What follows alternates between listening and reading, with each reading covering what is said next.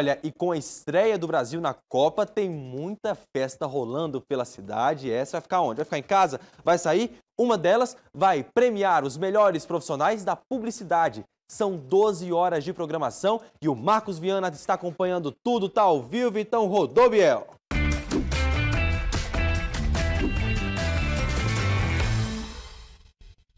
Lucas, muito boa tarde para você, boa tarde a todos que acompanham ao vivo o Jornal Local.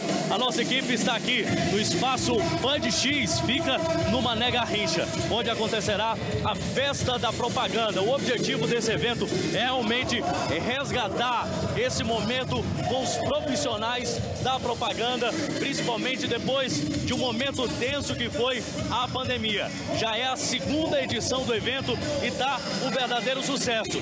Últimos detalhes detalhes sendo realizados aqui, Lucas. Tem DJ tocando e o auge da festa vai ser a apresentação da cantora Ludmilla, que acontece logo mais da noite. A TV Brasília está cobrindo todo esse evento, curtindo demais o pessoal que também vai assistir a estreia da seleção brasileira contra a Sérvia. Muita gente chegando, muita gente já descontraindo, se divertindo, comendo, tem uma mesa farta aqui do lado e o pessoal está acompanhando, está curtindo, está aproveitando. E a nossa equipe vai continuar aqui, Lucas, cobrindo esse evento muito especial no Mané Garrincha. Volto com você, Lucas.